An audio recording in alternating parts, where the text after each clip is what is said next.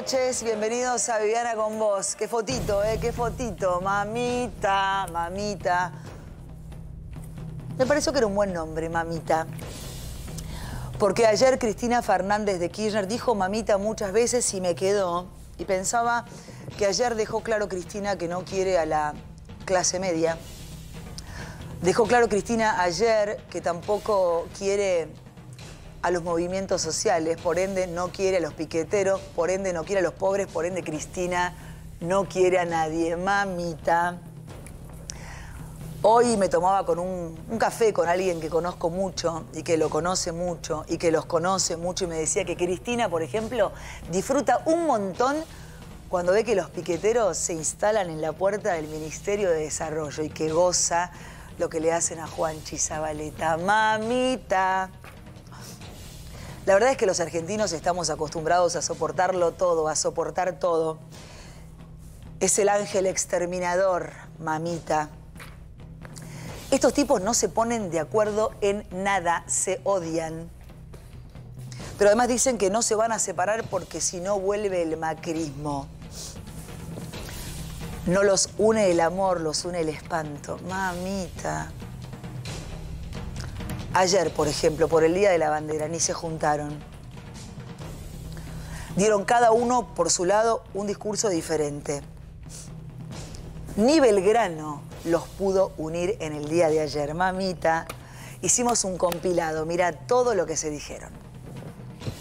Este proceso ultrainflacionario que estamos viviendo hoy en la Argentina es el producto del endeudamiento criminal de los cuatro años del macrismo.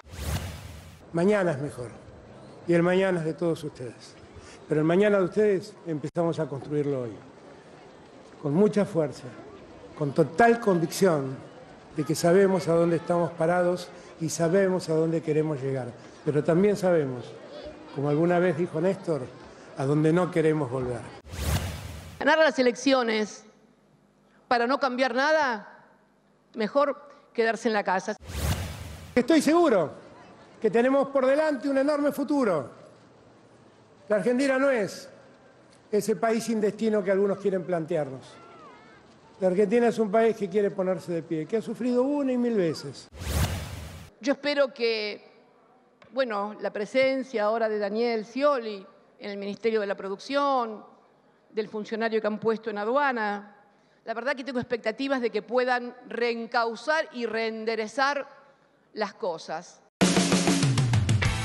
Bueno, la verdad es que el acto ayer, el de él, el de ella, fue penoso todo. Él adoctrinando pibes, bajando línea, ah, pero la cigarra, ah, pero Macri, ah, pero Néstor, ah, pero no sé qué, ah, pero, ah, pero, ah, pero, ah, pero nada, ah, pero mamita.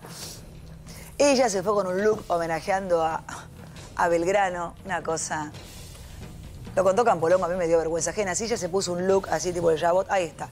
Igual, estás igual, mamita. Mirá en qué están, en lo importante. No habló casi de Belgrano. Creo que ni habló de la bandera. Qué quilombo que tenemos los argentinos con esta gente que nos gobierna, mamita. El doble comando que nos hace chocar y que ya chocó Alberto Fernández. Ahí tenés esto que es maravilloso. Mira este tuit, Diego, que la, la, lapicera y la jeringa es suya, señora. ¿Qué hizo usted con la pandemia, la inflación, la ridícula política exterior? Su títere le obedece ciegamente. Si por usted fuera, ya estaríamos en default. Está claro que la dueña es ella, que el inquilino es Alberto, mamita. Pero además lo maltrata, lo maltrata, pero no hace nada para que la casa finalmente esté en orden. No sé si Cristina no querrá agarrar la lapicera y que esto empiece a solucionarse de alguna manera. Mamita, no podemos más. Cris, este es tu gobierno, es y vos lo trajiste al títere. El que trajo al borracho, decía Bernie, que se lo lleve. Vos trabajás de vicepresidente. Digo vicepresidente para que se enoje. No sos comentarista de la realidad, mamita.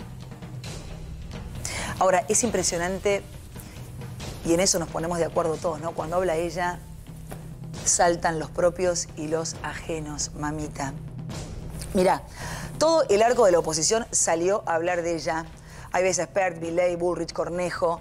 no tiene cerebro y flojita de memoria. Las críticas opositoras al discurso de Cristina Kirchner evaden la realidad, háganse cargo y burra, fueron algunas de las frases más picantes que lanzaron los opositores tras las declaraciones de la vicepresidente en la CTA. Además dijo Cornejo, si tiene todas las soluciones para nuestro país, no se entiende qué hizo durante los más de 14 años que destruyeron la economía y todo lo que tocaron. Dijo Patricia Bullrich, le contestó a Cristina, su inflación, su deuda, hágase cargo, vicepresidente. Ritondo dijo, evaden la realidad, evaden bajar el gasto, evaden bajar impuestos, evaden un plan económico. Dijo Vidal, todo es culpa de Macri, el capitalismo, los jueces y los que producen. Nada es culpa del déficit. La emisión ni de ella que eligió, militó y formó este gobierno. Qué agotador, mamita. Siguen expert fuerte. Cristina Kirchner no tiene cerebro ni para jugar con tierra, pero fue dos veces presidente y ahora es vice. Impresentable. Mamita, Milei dijo, todas las cosas que dijo sobre la inflación están todas mal. Apareció Marra, Ramiro Marra, quiere que seamos Venezuela y Delía dijo, por eso digo que se pusieron todos de acuerdo, flojita de memoria y de agradecimiento, dice Delía. Nos declaró la guerra a todos los movimientos sociales. No hay duda que ella es la uno, ¿no? Porque despierta amores y odios muy intensos. Ella habla y salen todos ellos a contestarle. Ella es la que les marca el tiempo a todos. Y no le importa si son propios o ajenos. Mamita. Mirá, me importa un pito, dijo Cristina. Me importa un pito. Eh, bien con los funcionarios. Diez frases claves de Cristina Kirchner en la CTA. La vicepresidente volvió a marcar sus diferencias con la gestión y le pidió otra vez a Alberto Fernández que use la lapicera en tono económico. También cargó contra empresarios y jueces. Va más allá de todo. A mí me encanta porque Cristina es más dura con su gobierno que la oposición con este gobierno. Es genial. Ella es la peor opositora de todas a su gobierno. Mamita ya tiene a más funcionarios en la mira. Poneme la de gran hermano. Guzmán, Guzmán, estás nominado. Pese, estás nominado. ¡Mamita! Se me cayó la lapicera, ponchámelo a Pese. Ponchámelo, ponchámelo a él, ponchámelo a él. Ahí está, gracias. No puedo trabajar si no tengo la lapicera en la mano. Ahí está, volvé, volvé, volvé. Ya está, están todos nominados. Crece la interna, Cristina Kirchner se desentiende de la crisis económica y responsabiliza a Alberto Fernández. Es impresionante, es la opositora más importante que tiene la República Argentina. Cristina estuvo, hacete cargo de tu gobierno. No te hagas la dolobus y vos lo elegiste al título, el que trajo al borracho que se lo lleve, mamita. Qué fracaso, ¿no?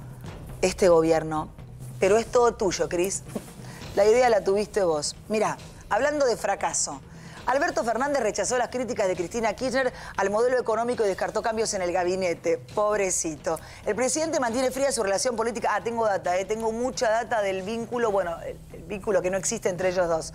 Decía, el presidente mantiene fría su relación política con la vicepresidente. En gobierno toman nota de los ministros, intendentes, legisladores y sindicalistas que participaron del acto organizado por la CTA. El presidente diciendo eso del gabinete es como, viste, un equipo de fútbol y el técnico dice, no, no, esto va a seguir todo igual, no vamos a hacer ningún cambio, mentira, perdieron tres partidos, van a cambiarlo todo. Él sigue esperanzado. Hoy igual me contaron que a Guzmán no lo quiere nadie dentro del gobierno, pero nadie es nadie, ¿eh? ni los de Massa, ni los de... Lo... Nadie lo quiere a Guzmán. Todos sabemos que es mentira lo que dijo y lo que dice el presidente, y ahí adentro hay muchos que tienen los días contados y ellos lo saben. Cristina, con una carta te volteó el gabinete, con un tuit te lo volteó a Culfas, con una sola mirada te voltea a cualquier funcionario de este gobierno.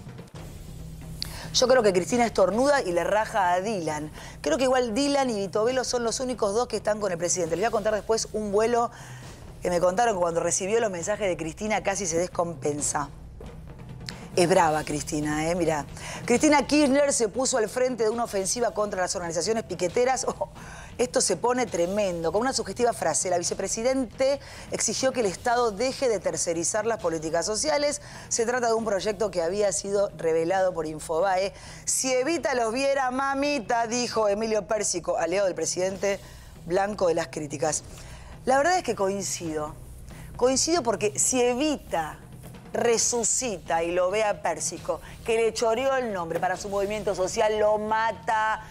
Coincido, Dios mío. Los gerentes de la pobreza. Hoy un amigo me contó que estaba en un bar en el centro, tengo todo y tengo el video, pero no lo voy a poner hoy porque estaba él en ese bar solo y, va muy seguido. Dice que había dos tipos que se repartían la guita y decían, yo quiero tanta guita por mes, eran de los movimientos sociales de Pérsico. Impresionante. Mamita, estos tipos le sacan al que menos tienen. El 2% de 19 lucas es una fortuna para un pobre. El chino Navarro y Pérsico, movimientos sociales y a la vez son funcionarios. Están de los dos lados del mostrador. Mamita, es cualquiera. Yo estuve en el piquete y hablé con mucha gente, pero ahí la ven a esa chica, creo que se llama Abril. La verdad, no me quería ni un poco, pero igual respiré profundo y dije, soy una profesional. La verdad que la quiero, me parte el alma lo que están haciendo con ellos, pero queda claro cómo les sacan el 2%, pero ellos dicen que no le sacan el 2%, pero después reconocen que sí, los gerentes de la pobreza le sacan el 2%. El 2% de 19 lucas, gerentes de la pobreza. Mamita, míralo. Mi pregunta es, si odia tanto a los piqueteros, ¿por qué está acá? No, no los odio, no me gustan los gerentes No. de la pobreza. No me gusta que los usen a ustedes como rehenes. No, no nos usan, la verdad. ¿No los usan? No, la verdad que yo ¿Cómo te llamas? me llamo Abril, ¿Cuántos años tenés? 18. con ¿Estudiás? Un hijo de dos años, sí. Un hijo, o sea, estudias. Contame a qué hora llegaste y, y para, para qué organización social trabajás o perteneces. Trabajo, estudio, tra- eh, vengo a los piquetes porque vengo a reclamar, porque no tengo para comer. Eh, no alcanza la plata, por más que tengan una cooperativa. Y es mentira que te piden... eh, Eso es mentira, el 2%. Es mentira, es mentira. Y si lo piden es porque ayudamos, porque con- ¿de dónde salen de las, las banderas y eso? Eh, ¿Cómo te explico? Ahora, pero si ustedes tienen que ayudar con ese 2% o si se los pidieran, vos decís que lo das. ¿No sentís que está faltando por parte del Estado la ayuda a montones de comedores y niños que no tienen para alimentarse? O sea, esta es una pelea de ustedes con el gobierno, básicamente, porque no les da lo que necesitan. Sí, sí, Y en ese caso estamos todos del mismo lado. A mí lo que, a mí lo que más me jode es que a ustedes les saquen, les roben o los usen, como este gobierno el usa la pobreza. hace lo mismo, el FMI hace lo mismo y nadie dice nada. Por supuesto que esta gente es víctima, son rehenes, son esclavos del poder. Estos hijos de mala madre, gerentes de la pobreza, le sacan el 2% y mucho más de lo que les corresponde. Mamita, mira, los movimientos sociales le respondieron a Cristina Kirchner. Están todos contra todos en el frente de todos contra todos. Enfrentamos el modelo de pobreza de tu gobierno. En el discurso que cerró el plenario de la CTA, la vicepresidente había reclamado que las políticas sociales no pueden seguir tercerizadas y que el Estado Nacional debe recuperar el control, la auditoría y la aplicación. Esto es declararle la guerra a los gerentes del pobrismo. Esto es meterse con la caja de esta gente. Mamita. Cristina le quiere sacar a los gerentes de la pobreza esto, el manejo de los planes. Obviamente, ¿para qué? Para dárselo a los intendentes y que los intendentes lo manejen y tengan más platita. Ya están pensando no en el 2023, hoy me contaron que piensan en el 2027, mamita. Y es una buena manera de que los intendentes también tengan a la gente agarrada con los planes. Ellos quieren resistir en la provincia de Buenos Aires porque saben que pierden en la elección más importante en el 2023. Salió a contestarle Silvia Sarabia de Barrios de Pie. Ahí está, Cristina habla como si no fuera parte de este gobierno. Como dije, es la opositora más grande a su gobierno, Cristina Fernández de Kirchner. Y yo coincido con Sarabia, ¿eh? Pero Cristina habla de la pobreza como si la pobreza hubiera llegado, no sé, de un plato volador. Mamita. Tal vez no se acuerda que gobernaron 15 de los últimos 19 años. Esta pobreza la generaron ustedes, ellos. Este desastre que, que estamos viviendo, básicamente lo generaron todos ellos y nos tratan de boludos a este rebaño de pelotudos. Mamita. Me pregunto si no está de acuerdo con el presidente, ¿por qué no se va, Cristina? Como hizo Chacho Álvarez, ¿se acuerdan? Ahí lo tenés. Y si no, hacete cargo, pero Cristina, no puedes seguir tirando más piedras. Acá estamos nosotros, el rebaño de pelotudos, y no los aguantamos más.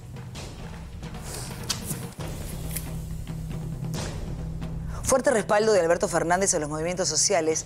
Tras las críticas de Cristina Kirchner, les pido que nuestras diferencias no nos hagan decir cosas injustas, aseguró el presidente tras los dichos de su vice sobre los planes sociales. No puede ser que él diga una cosa, haga otra, que ella diga una cosa, haga otra y que nunca coincidan en lo que dice el uno con el otro. El gobierno es de los dos. Ella dice algo, él la contradice. Él dice algo, ella lo contradice. Es de locos, mamita. Es una vergüenza total. Además, el presidente sabe que sin el apoyo de los movimientos sociales, su gobierno dura 30 segundos porque habría un estallido social, mamita. Y ahora sí, hoy estaba escribiendo, me faltaba algo divertido. Y digo, este presidente no podrá decir una pelotudez, así me resuelve parte de lo que estoy diciendo y de repente me puse a mirar el teléfono y en tendencias, trending topic decía garganta profunda. Digo, ¿qué pasó? ¿Qué pasó? ¿Qué pasó? ¿Qué pasó? Sexo. El presidente y otra pelotudez. El presidente tiene el porno vintage en la cabeza, porque es muy vintage, ¿no? Garganta profunda. ¿Cuántas veces le pregunté a los invitados, al equipo, o en alguna editorial, yo preguntaba, ¿qué tiene el presidente Alberto Fernández en la cabeza? Y hoy se confundió a un movimiento social con una película porno, porno vintage. Garganta profunda con garganta poderosa. Mamita, escúchalo. Ahí veo al compañero de garganta profunda. Como él, miles. Poderosa. No, profunda no, poderosa. Poderosa. Poderosa, poderosa, poderosa, poderosa, poderosa. Pero, pero profunda también, ¿eh? porque la verdad es que nos enseñaban en esas revistas muchas cosas que eran ocultas por otros medios. Me saca este tipo, me saca. Porque además, bueno, te equivocaste. Entonces decís, bueno, garganta profunda. Decís, no, eh, eh, poderosa. No, bueno, y profunda también. Faltaba que describiera y esto. No puedo decir, chicos, lo que me... No, no, no, no lo puedo decir, no, no. Soy madre de familia.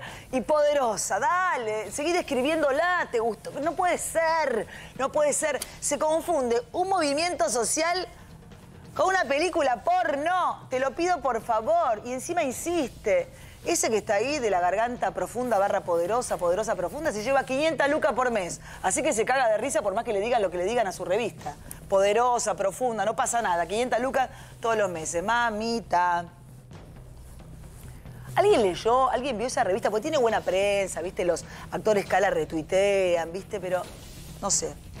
No lo sé. Yo no la leí. La vi, tiene buenas portadas, pero nada más. Eh, pensaba la intérprete de Los Sordos, ¿no? Cuando dijo profunda, poderosa. Hacía agua a la boca. Decía, ¿qué más? ¿Qué más va a decir, presidente? No, una cosa increíble. ¿Qué hizo con la mano? ¿Sabemos qué hizo la chica esta? No, ahí está. Susana Jiménez se copó con lo que dijo el presidente. Retuiteó y puso jajaja. Mira, esto pasaba hoy. Ahí está, en la cuenta de Susana Jiménez en su Twitter. Retuitea. Pibe, yo tenía una novia a la que le decía la jirafa. ¿Por qué era alta, tío? No, por la garganta profunda y Susana le pone ja, ja, ja, ja, ja. Qué bizarro todo. Susana Jiménez se le caga de risa al gordo. Así estamos, no lo respeta nadie. Y no es para menos, porque estás hablando de algo serio y te sale garganta profunda. Aparte, qué vintage el presidente, ¿no? Me tiento. Está pensando en una película porno mientras está hablando, no sé, de movimientos sociales. Mamita.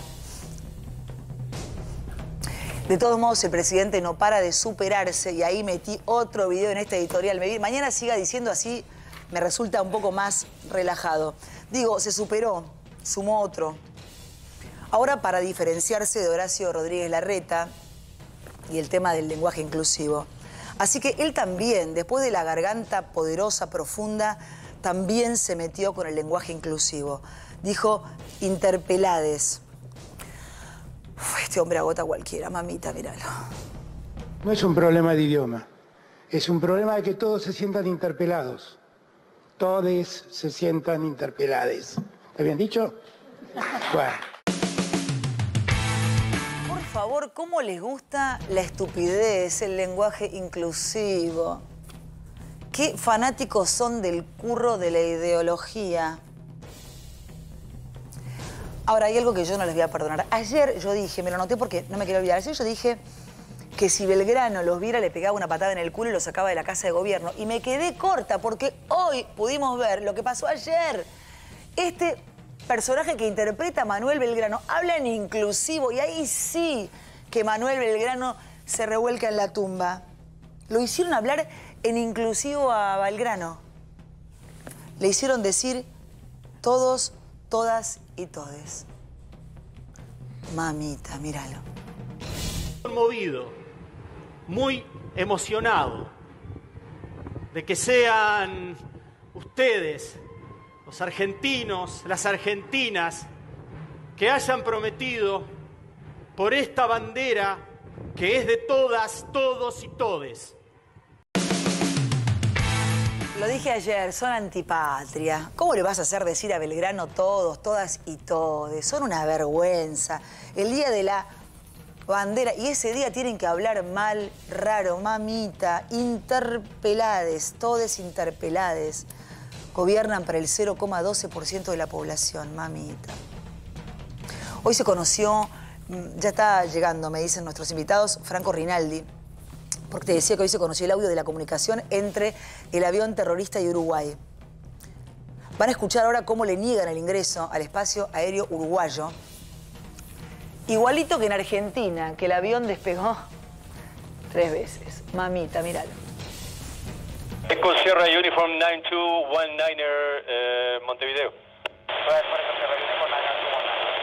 Buenas tardes, uh, Echo Sierra Uniform 9219, radar contact, climbing to 240. Apparently there's, there's a problem with your permit to enter uh, Uruguayan airspace. I will require from you to keep an, a holding over Dorbo intersection. Okay, uh, maintain flight level 240 and make a holding over Dorbo for coordinate the permission to enter in Uruguay airspace. Correct. Uh, we confirm. Eco Sierra Uniform 9219, eh, recibido. Eh, sí, le recibí la, la, mm, la, información de que no pueden ingresar eh, hace unos minutos eh, solamente. Eh, estoy coordinando y ya le confirmo. En principio, manténgase en órbita en Dorbo y ya le confirmo para continuar. Ok, mantenemos en órbita en Dorbo y pendiente para continuar. Eco Sierra Aguardando que la autoridad nos comunique a ver qué pasa con el inconveniente del permiso. Ya estamos en comunicación nosotros intentando llamar, pero se ve que ellos también están con sus llamadas correspondientes. Yo le aviso. Eco Sierra Uniform 9219, Montevideo. Comando de Defensa Aérea Uruguayo no le autoriza el ingreso al espacio aéreo uruguayo. Usted confírmeme si retorna 6 o cuáles son sus intenciones. Bueno, muy bien.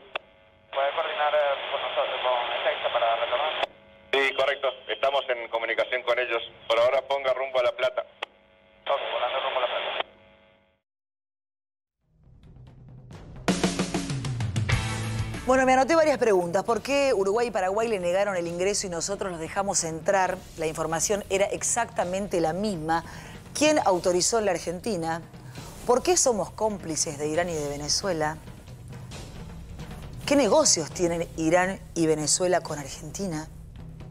¿Por qué después de este papelón internacional la Cámpora sigue manejando el espacio aéreo? Mamita. La nave retenida en E6, el gobierno quiere que la justicia deje ir a los tripulantes e insiste con las clases de vuelo. Acá vemos a los instructores de vuelo. ¿Los tenés, mi amor? Es un meme. Árabes armados alrededor del avión. Somos instructores de vuelo, clarísimo. Ponele que son instructores de vuelo. El gobierno sabe que estamos hablando de terrorismo. Lo dice hasta el FBI. Pero ellos se siguen haciendo los boludos con nosotros, el rebaño de pelotudos. Siguen con la hipótesis de Agustín Rossi, qué vergüenza. Que vinieron iraníes y venezolanos a pilotear, a aprender a pilotear. Yo me fijé, me tomé el laburo de mirar los documentos de estos personajes. Todos tienen más de 45 o 50 años. Se supone que deberían ser un poco más jóvenes, ¿no? Ya están un poco grandes para empezar a pilotear estos muchachos. Y encima acá. Recordemos el papelón, el papelón, la vergüenza de Agustín Rossi con Pablo Dugan. Recordémoslo. Esa es la información que tiene Migraciones y, y lo, que, lo que digo es eh, que uno no actúa con información que pueda estar en las redes sociales o información periodística. Tiene que tener certezas. Claro. Entonces, y en función de las certezas, eh, toma cada una de las decisiones, eh, toma cada una de las decisiones que tiene que ir tomando. Ahora, Después lo que está todo el tema este de por qué había iraníes y venezolanos. Es una cuestión muy simple. Le estaban enseñando a pilotear el avión. Los iraníes que Ah, estaban ese allí- dato no lo teníamos. eh, lo- los iraníes que estaban allí. Y esto- Son los que esta es venían- una- eh, esta es una, es una presunción. Los iraníes que estaban allí son instructores. Sí. Y me da la cuenta más o menos, porque cinco iraníes, 14 eh, venezolanos estaban instruyendo a dos tripulaciones más o menos para ese avión. No es que usted compra un Hércules, por ejemplo, digo el Hércules que es el avión que tiene la Fuerza Aérea Argentina, y, y le da y, y- y sale a manejarlo de porque- cualquiera- cualquiera. cualquiera. No se Totalmente. Son aviones que tienen su complejidad para llevarlo, pero a- es- es su- para llevarlo adelante. Me anoté algunas preguntas más. ¿Por qué el gobierno nos miente descaradamente? ¿Por qué insiste en que dejen ir a la tripulación? ¿Por qué? ¿Qué pasa si el piloto o el copiloto hablan? ¿A qué personaje del gobierno o a qué personajes del gobierno pueden manchar? Raro que ayer Cristina, con todo lo que dijo en el Día de la Bandera, no dijo nada del avión terrorista que llegó con venezolanos e iraníes, ¿no? Mamita. Los que sí salieron a hablar fueron los venezolanos. Dijeron que esperan que el avión siga funcionando. Y el chavismo aseguró que ellos no cometieron ningún error. Mamita, míralo. Entonces nosotros esperamos que se resuelva la cosa diplomáticamente como corresponde, ese avión regrese donde tiene que regresar, eh, siga cumpliendo las labores que cumple de trabajo, que siga funcionando, ayudando, porque muchas de esas cosas, ¿cómo tú crees que llegan las medicinas a Venezuela? ¿Cómo las traemos? Las vacunas, ¿cómo llegaban? Cuando estamos en los gravísimos problemas eh, de combustible, ¿cómo hacíamos? Por supuesto que eso le duele al imperialismo. Les duele. Ni está cometiendo ningún delito, ni había cometido ningún delito, ni está preparando algún delito. Pero que sea la diplomacia la que se encargue de resolver ese problema por el bien de la amistad entre los pueblos. Bueno, claramente este hombre está mintiendo, mezcla todo, mezcla las vacunas, el imperialismo. Qué bueno sería que nos den una gran explicación. Y no sé si el tema se termina, pero por lo menos nos quedamos un poquitito más tranquilos. Mamita. Claramente todos tienen el trasero bastante sucio. Mamita. Esto que vamos a ver es una metáfora de los argentinos, huyendo de todas las trampas que nos hace el Estado.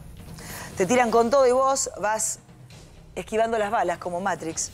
Y cuando ya pensás que lo lograste, te la dan por atrás y te tiran. O te inventan un impuesto o te encierran. Lo único importante para ellos es cagarte la vida. Mamita, qué difícil es ser argentino. Este video que te voy a mostrar ahora es increíble. Es de un fanático, de un fan de Cristina Fernández de Kirchner.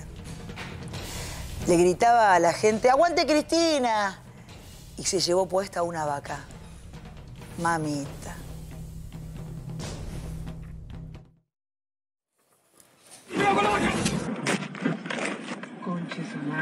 Y chocaste la vaca. ¡Aguante Cristina, carajo!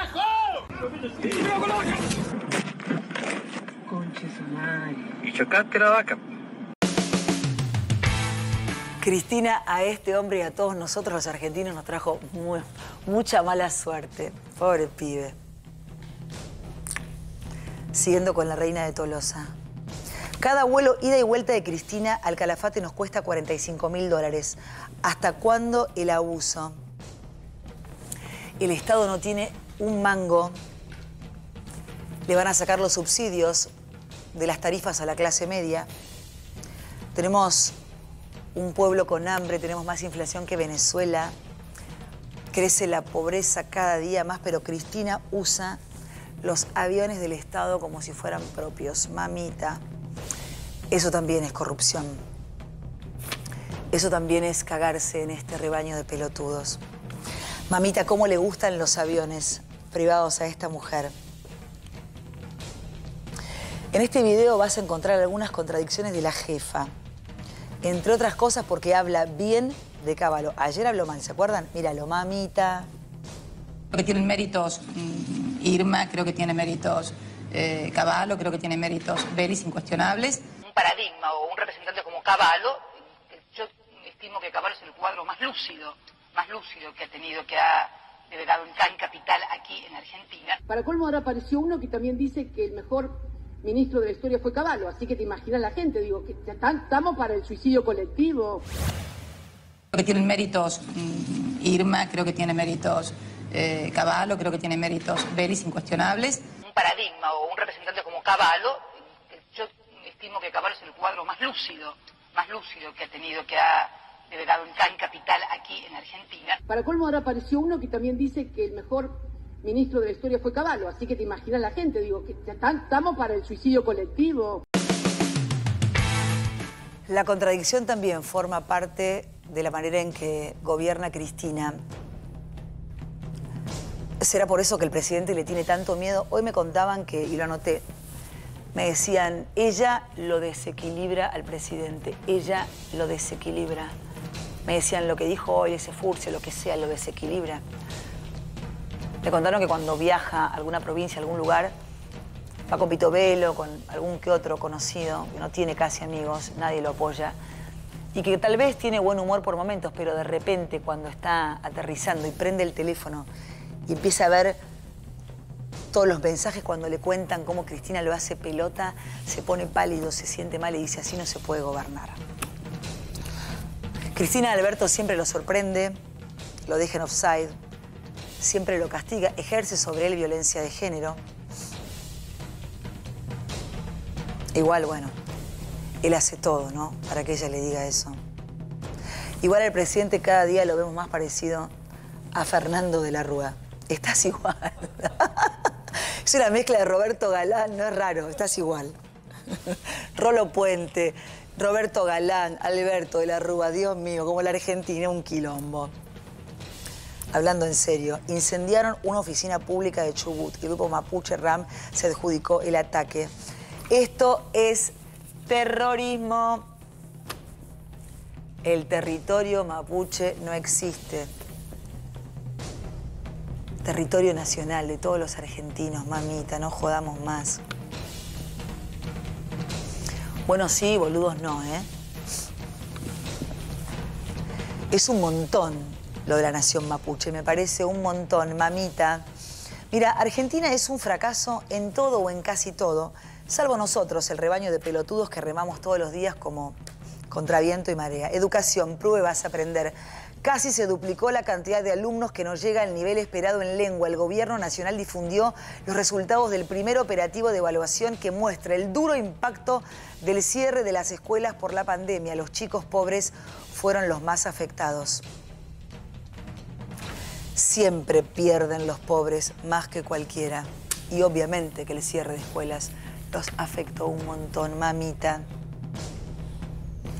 Acá tenés la cara de la educación en la Argentina. Los planes de estudio son de la época de Tutankamón. Todo desactualizado, todo roto, mamita. Lo digo siempre, te quieren burro. Te quieren bruto, mamita. Esto que vas a ver es impactante porque también fracasamos con la salud. Esto es en Neuquén. Están en un quirófano los médicos, las enfermeras operando. mientras les cae la lluvia porque tienen el techo roto. Mamita, míralo. Así estamos trabajando en el quirófano del Castro Rendón. Las autoridades, en vez de venir a solucionar el problema, culpan a la gente, al personal de que tiran agua, de que se les caen los líquidos. Y acá está la prueba de que no somos nosotros los trabajadores.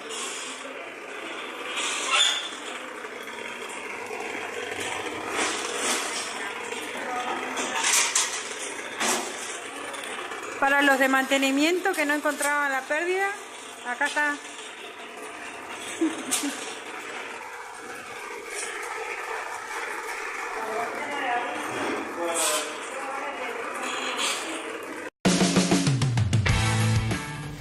Es una locura. ¿Cómo esta gente puede seguir operando? Vos mirá lo que es la imagen. Mientras les llueve con la paciente o el paciente, no sé, ahí. Le cae el agua encima de la camilla. Es como si estuvieran, no sé, operando en la guerra. Es impresionante. Fracasamos en todo en la Argentina, una locura, mamita. También somos un fracaso en la lucha contra el narcotráfico, no me canso de decirlo. Escándalo en Corrientes. Un ex juez federal a juicio con dos secretarios por proteger a los narcos. Crecen los narcos porque tienen todo el apoyo político, judicial y policial. El narcotráfico, señores, vino para quedarse. Y si no lo enfrentamos, esto va a ser cada vez peor, mamita. Preguntale si no a los rosarinos, a muchísimos barrios del conurbano. Los narcos manejan todo, mamita. Hablan de los pobres, de los pobres, de los pobres, de los pobres. Hoy encontré en las redes este video de indignado, es en La Matanza. Después de mirarlo, decime si es justo que la gente de La Matanza, que la gente de cualquier rincón del país viva de esta manera. La matanza no avanza. Mamita, míralo. Gracias, Fernandito. ¡No! Bocho, esto es un peligro, a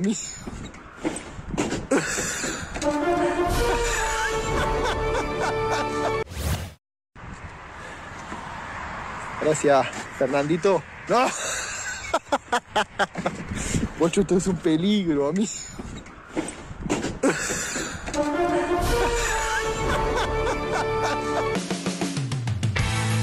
Me pregunto por qué la gente de La Matanza se resigna a vivir así, a vivir tan mal. Yo me acuerdo que una vez estuve en La Matanza, fui muchas veces y voy muchas veces, pero una vez fui y me acuerdo que, como sabían que yo iba a hablar con uno de los curas más conocidos de La Matanza, los intendentes de La Matanza, el intendente, la intendente, no sé, me hicieron limpiar como las cuadras por las, que creían que yo iba a llegar. Y de hecho fui por ahí y vi todas las veredas limpias, pero cuando me fui le dije, ahora, chicos, me posta por donde está todo el quilombo. Y era un desastre. Este pibe se lo toma con humor, pero es una tragedia que tengan que vivir así, porque ellos además pagan sus impuestos. Se merecen una vida mejor, se merecen agua potable, se merecen cloacas. No se merecen vivir rodeados de basura, merecen un futuro mejor, digno, y no ser rehenes de la política. Mamita, qué difícil es vivir en la Argentina. Mamita. Hoy vamos a conversar con Rodrigo de Loredo, que ya está con nosotros, con Franco Rinaldi, con Roberto García Moritán. Me dicen que acaba de tener un accidente en la puerta del canal Franco Rinaldi. Pidan una cámara, por favor, quiero saber qué fue lo que pasó, porque estamos acá, tenemos la rampa, lo estamos esperando, queremos que hable de todo lo que tiene que ver con, con el avión que llegó a la Argentina y que nadie da explicación, ni Argentina, ni Venezuela, ni nadie, pero acaba de tener un accidente, espero que no sea grave, en la puerta del canal, creo que cuando se bajaba del auto. ¿Me pueden decir algo por cucaracha, chicos, por favor? Ahí está, están, están ahora buscando la cámara para salir y ayudando a Franco Rinaldi. Tengo la buena noticia del día, José, ahora.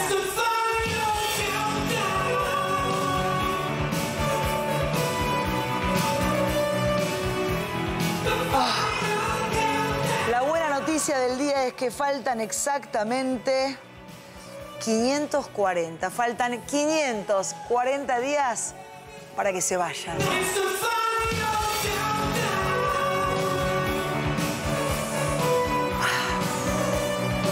Respiramos. Inhalá y exhalá.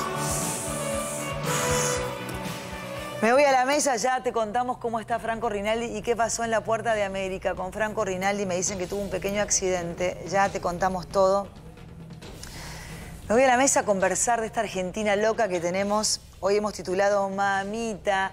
Vamos a escuchar al presidente Alberto Fernández y su furcio esta cosa que ya te da vergüenza ajena a esta altura del partido. ¿Con qué nueva locura o estupidez nos hará despertar, amanecer mañana el presidente Alberto Fernández? Con esto nos sorprendía mucho más en el día de hoy. Escúchalo, por favor.